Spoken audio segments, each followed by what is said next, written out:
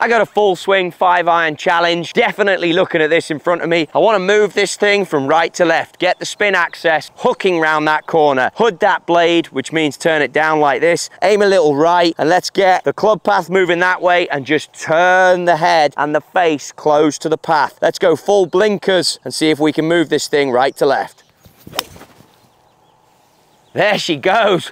Proper vicious hook round the corner. Try that one at home. Spin axis, minus 25.5 left.